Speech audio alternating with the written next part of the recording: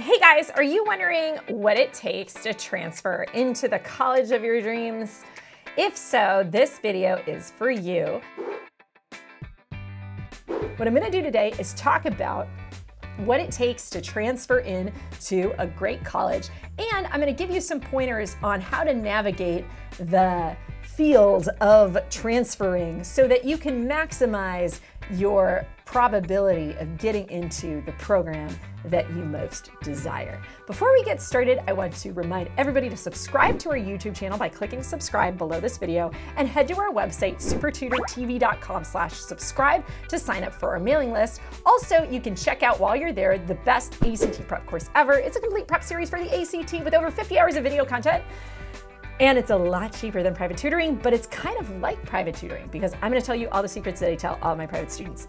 So let's get into this now. As many of you who are watching this video might be aware, uh, if you don't get into the college of your dreams on your first try when you are entering freshman year, or maybe if you weren't totally on the ball your entire four years in high school, you might want to still try to get into a good university and take a shot at the second chance called transferring.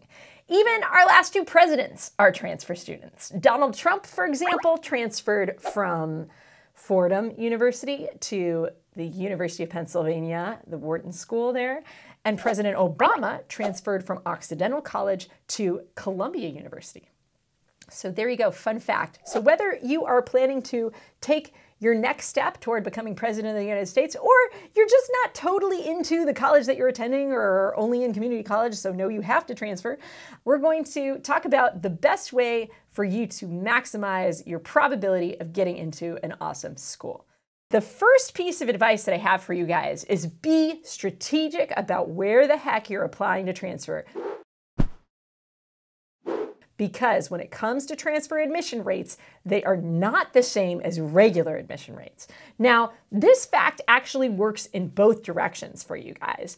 First, it works in the direction of helping you if you're applying to a school that actually really seeks out transfer students and may even have a higher rate of admission for transfers than it does for traditional undergrads. But it can work against you if you're applying to a school that is way more competitive on the transfer circuit than it is for freshman admissions. What I'm going to do right now is give you some quick lists of schools that are one, impossible or really, really, really hard to get into as a transfer, two, possible, but not much more possible than had you applied as a freshman or a rising freshman. Uh, and three, schools where you actually have a potentially same or better chance of admission if you apply as a transfer student. The first thing I'm going to say is if you want to go to Princeton, you cannot transfer to Princeton. It is the one school that does not allow transfer students, and it has not since 1991 because they just don't have space at Princeton. So when it comes to other schools, Harvard, Yale, Stanford, University of Chicago, MIT, Caltech, Dartmouth, Brown, and Duke University all have terrible admit rates for transfers. Next list is schools that are top 15 schools that you might have a shot at transferring to, but not much more of a shot than if you were trying to apply as a freshman and you have similar statistics. So those schools would be Columbia University, Johns Hopkins, Wash U, and St. Louis, University of Pennsylvania, and Northwestern, and Rice. The next list of schools that I want to share with you is schools where you may and may, because I can't predict the future, have a better chance at getting in as a transfer student than as a freshman. And those schools are Cornell, University of Notre Dame, Emory, University of California, Berkeley, Vanderbilt, UCLA, USC, University of Virginia, Tufts, UNC Chapel Hill those schools historically have allowed more students to get in as transfers percentage wise than the number of students that they've admitted as freshmen. So you have better odds getting in as a transfer to those schools than you do getting in as a freshman. The second point that I have for all you, my big tip for transfers is that grades matter. Grades are freaking huge when it comes to transferring. And which grades? Your college grades. You might be asking why in the world would some of these schools go out of their way to let in more transfers than they do freshmen? And one of the reasons may have to do with the fact that if they have more data on how you perform in college and in college level courses, that information, that grade, GPA information is more predictive of your ability to succeed in college as a whole than your high school grades are. If you can get straight A's in college, wherever you are in college, that shows colleges that you're applying to as a transfer that you have what it takes to get decent grades. And it shows them you're not going to flunk out of school or do something silly. A lot of high schools around the country may have different scales of grading, and it can be really hard for colleges to gauge like, is that something I can trust? Whereas when you're at a college level, that's a more serious level of study. And so I think colleges find that that correlates better with continued GPA at their institution than a high school GPA would. So if you're wondering why are they letting in these kids, that might be why. They might be safer bets. It's also, again, this idea that you can extend opportunity to students who may not have the resources or the finances to have attended your institution from the beginning. My third tip for people who want to transfer is you really have to check individual schools for their policies. When it comes to transferring, the rules are all over the map. Some schools will admit people both for fall and for winter. You might have a much better chance of getting in if you apply to USC, for example, for admission halfway through the year than in the fall.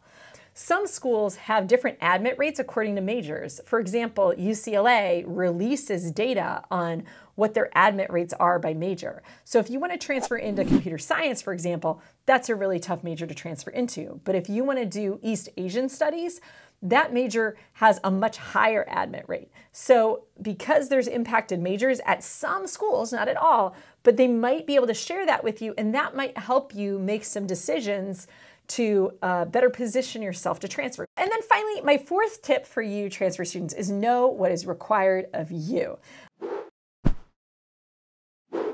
Requirements to transfer are often different than requirements to apply as a freshman, so make sure you look at the right checklist. Sometimes schools want to see your SAT and ACT scores, and almost always it's an option to submit those if they're strong.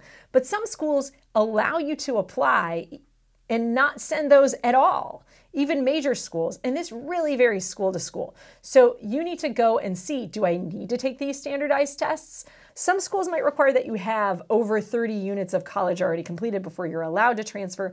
Other schools might say you have to have fewer than a certain number of credits to transfer. Usually there's some sort of range that you have to be in. And the other thing that I'm going to admit to you guys is that no matter where you're transferring, at some point in your application, you almost always are going to have to tell your story of why the heck do you want to transfer. And I will tell you if it makes sense that you want to transfer and there's reasoning to back it up, you're going to be a better candidate than if you really don't have any good reason, but you want to live in a different state. So that's about it. Again, uh, my best advice is for you guys to really know the landscape of what's going on when you transfer. Uh, and that means know that the statistics are different, know that there are different requirements, uh, and know that different things are expected of you. And the parameters by which you're going to be judged are a little bit different from when you are a freshman applicant. Again, grades matter more than anything when it comes to being a transfer student, more than high school activities, more than all that other jazz that you had to worry about uh, when you were applying from high school. So I hope you guys liked this video. If you did, give it a thumbs up. We have lots of videos here on YouTube about the SAT and the ACT, and we have a complete prep series that you guys can check out. And I will see you guys next time on Super Tutor TV. Thanks for joining us.